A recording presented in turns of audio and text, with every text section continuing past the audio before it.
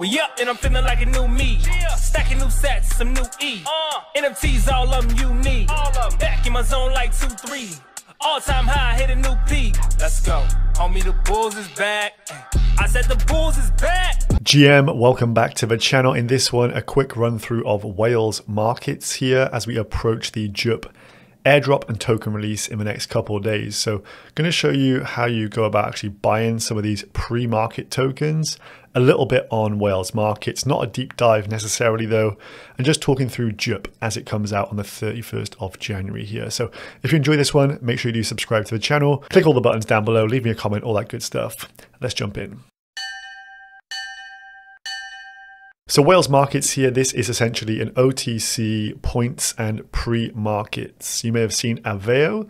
This is something very similar, but it is focused on Solana. So if we just go onto Whales markets and pre-market here, and from this, what you're going to be able to see is on these pre-market tokens, we have JUP. So people have put up the intent to sell their JUP airdrops in the coming days, and they want to cash in on these tokens before the actual open market occurs. So from my understanding here, these will settle upon the token actually launching. I don't think we can get rugged by these people saying, no, I don't want to actually sell mine because the actual market price is now higher than these values listed here. But we, on the flip side to this, we can actually pull out our bids uh, prior to this going live on the 31st. So here is the pre-market section. Just check out the stuff on the left-hand side. There's also OTC markets. Need to be very careful about those. People are listing scam tokens. One way to avoid the scam token issue is to, of course, find the contract address of your token. So say we come to Jupiter here on CoinGecko, you can see the contract address down there. So if you were to copy that and paste it into, if it was an OTC market, into there, you'll be able to see that it doesn't match up with some of the other ones listed on there. Anyway, how do you buy JUP tokens here? So we can see there are people who are willing to sell their allocations early. What this interface shows us is the JUP token, how much of the allocation this person is willing to sell has been sold thus far, the price at which they are willing to sell. So roughly we're trading around 68, 69 cents and the amount of total JUP they're willing to sell here as well. And then on the right hand side, what token they want in return. So this needs to obviously correspond to what you've got in your wallet. In this one here, I'm going to be doing USDC.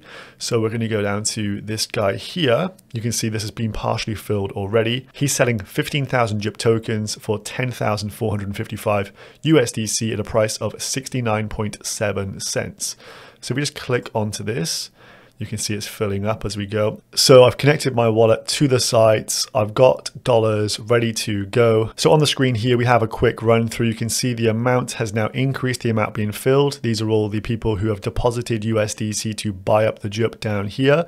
So this is actually getting quite competitive at this moment in time. I think this will continue into the actual airdrop.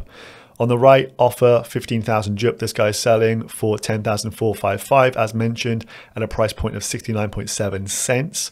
Currently 12,000 of the tokens have been filled. There's 2,900 left and it says this will start between the 31st of Jan and the 1st of Feb. So that is the 24 hour period for the settlement to occur. So I'm actually interested to do this for the first time as well to see if we do potentially get rugged by the sellers or anything along that kind of lines if this guy can pull out. I don't think they can, but I want to see this with my own two eyes. So quick edit in here, the seller of the token. So for an example here, the JUP token seller they've had to put up collateral to actually list their tokens for sale. So in order to get their collateral back that they've posted, they must sell and distribute those tokens. So as you can see from the top line here, if they distribute the tokens to us as buyers, they therefore get the buyer's deposits, the USDC in question, plus their collateral back if they refuse in that 24 hour window to give us our tokens that we've tried to bid for, we get our USDC back, plus we get a proportional amount of their collateral posted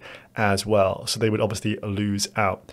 So I can only think that if JUP does absolutely gigasend straight out the gates, that would be the only reason why people would pull out of this transaction. So that clarifies the ruggability of the platform. I've got $669 in the account here ready to go. So let's just get this in line.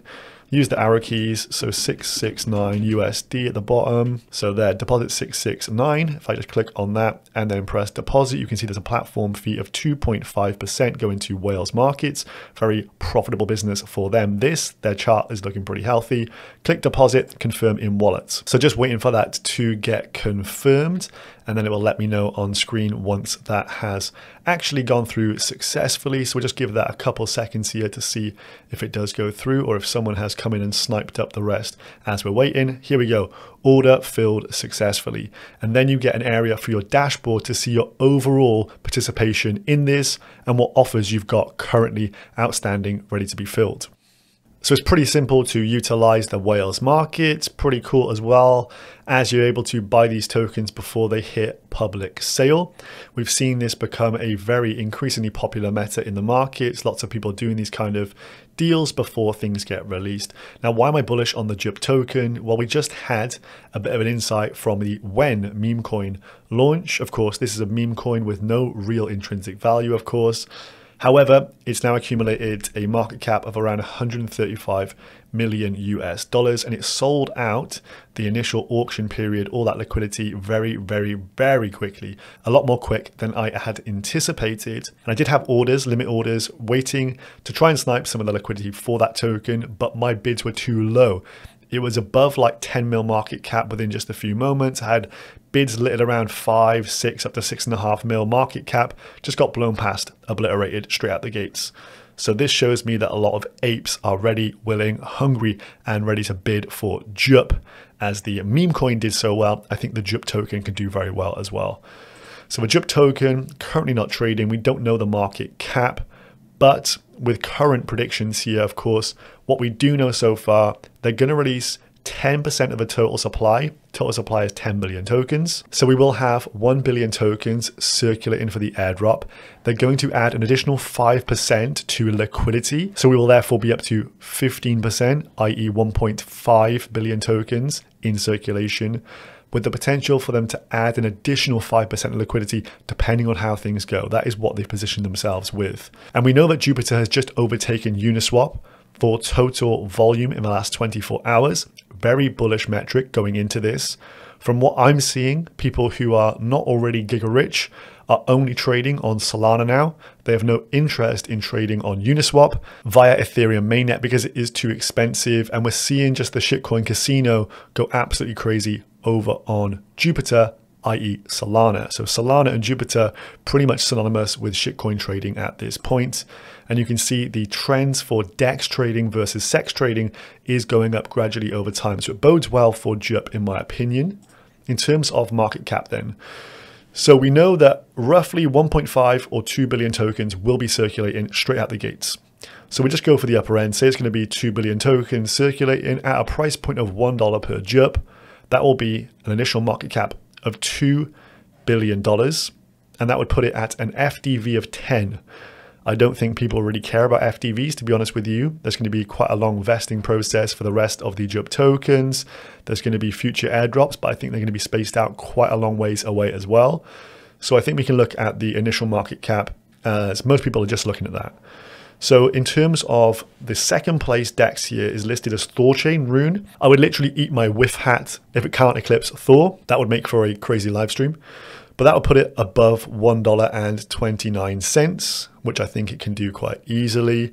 But the question is, how much of a gap can it close on Uniswap? Or can the degens here on Solana just pump the absolute bags, pump this thing to the high heavens, show up Uniswap and get it really close, or can it even eclipse that? That would be rather crazy and not a prediction I would stick my neck out on the line for. But what if it does trade at $4.50 and flip Uniswap? Is that out of the realms of possibility? I think it's unlikely, but I think we can see the JUP token trade between one and two bucks quite comfortably, in my humble opinion.